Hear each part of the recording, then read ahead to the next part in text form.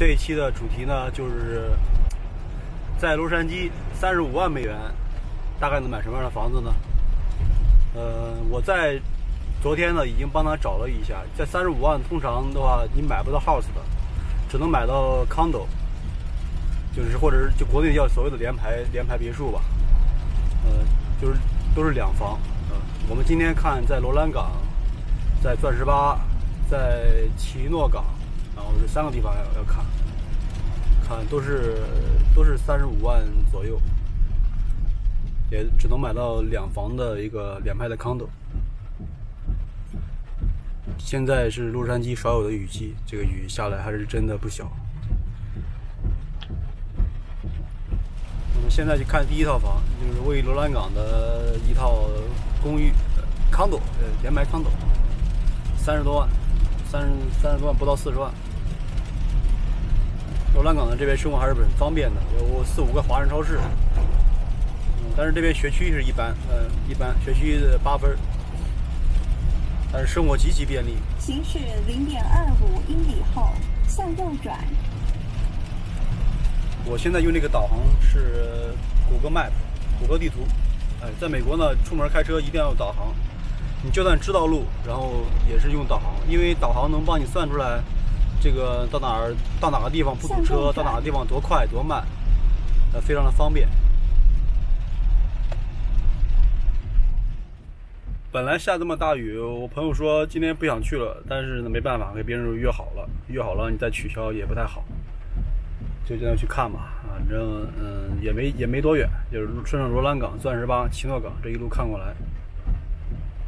反正三十五万美元这个预算呢，确实不高，因为这边的房价普遍呢，你要在罗兰港这边，你要买个五十万的话，也只能买个一层的那种就独栋的。我说是独栋，独栋的也就是只能买个一层的，六十万只能买个一层的比较旧的房子。那三十五万、四十万只能买一个嗯原牌的原牌的 condo。罗兰港这边的房价大概大概在八十多万、七八十万，买个不错的。House 八八十多万吧，看这边右手边就是这个香港广场，左手边是太平洋广场，呃，就是大中华超市，这边是香港超市，然后幺六八超市、顺发超市，呃，不对，顺顺发超市已经卖了，卖给大中华了，对，嗯，生活非常方便，想吃什么都有。前几天我看又搞开一家兰州拉面。零点二五英里后向左转。这两天那个东部啊，这这这个这个一直下大雪啊，这个暴雪都极寒，零下五十多度，所以说洛杉矶还是好地方。嗯，现在现在的温度也就是十几度吧，向左转，十几度算是比较冷的冷的时候了，算最冷的时候了，基本上是。我们看的第一个房子就位于这个社区里边的一个连连排的 condo。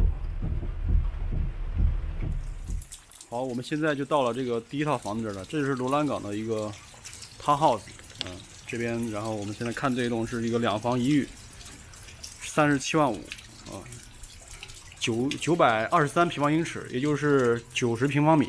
这一一楼的话是它的客厅，一一进来，客厅，然后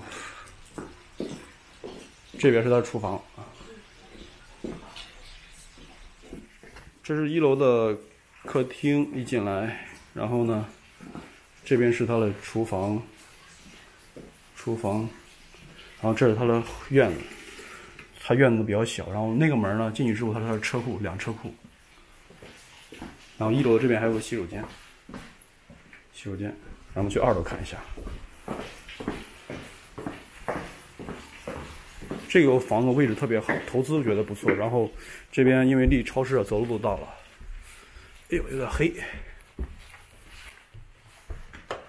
这二楼，二楼这是他洗衣、洗衣放洗衣机的地方，洗衣机烘干的地方。这是一个卧室，卧室这是独立的一个衣衣帽间，它没有独立出入的洗手间。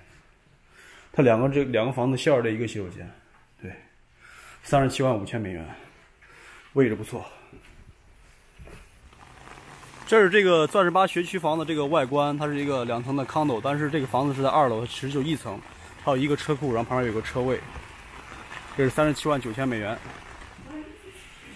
这个房子呢是学区房，然后可以上艾维格瑞小学，钻石八最好的小学。然后这边是它的洗衣房，这是洗手间。这也是目前钻石八市场上卖的最便宜的学区房，三十七万九千，三十七万九千美元。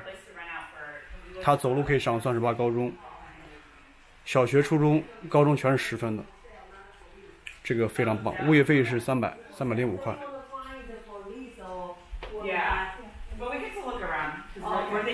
好，我们看下一套。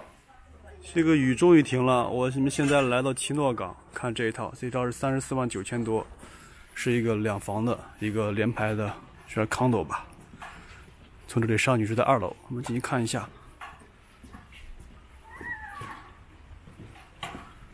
这个房子是三十五万，三十五万美元吧，三十四万九千。然后呢是九百平方多英尺。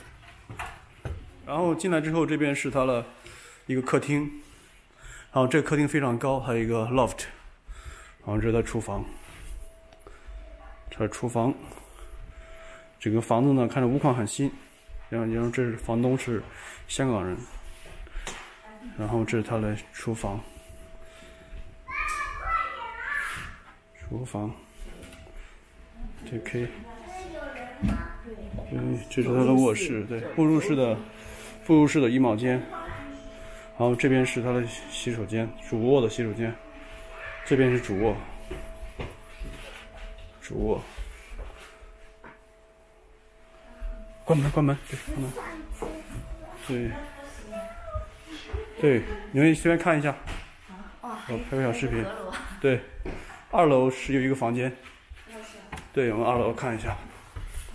这是这个房子位于奇诺港的北边，北奇诺港学区非常好。这个房子呢，然后这个就比较比较简单，然后你看这个门，看是个推拉的，推拉的一个门。